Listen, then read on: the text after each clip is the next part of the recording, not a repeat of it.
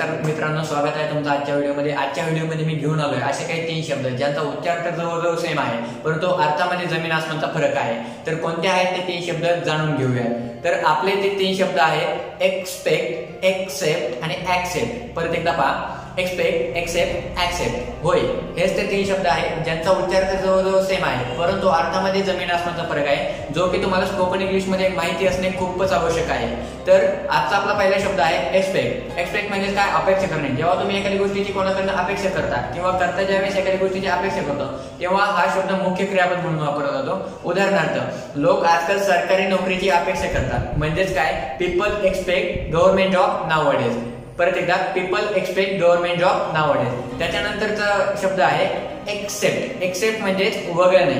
जेव्हा तुम्ही एखादी गोष्ट वगळता किंवा जेव्हा करता एखादी गोष्ट वगळतो त्यावेळेस हा शब्द मुख्य क्रियापद म्हणून वापरला जातो.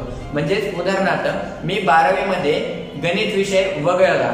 I excepted mathematics in twelfth परत एकदा I excepted mathematics in twelfth त्याच्यानंतरचा आपला तिसरा आणि शेवटचा शब्द आहे ऍक्सेप्ट ऍक्सेप्ट म्हणजे काय? स्वीकारणे. जेव्हा तुम्ही एखादी गोष्ट स्वीकारता त्यावेळेस तुम्ही हा शब्द मुख्य क्रियापद म्हणून वापरता म्हणजेच काय?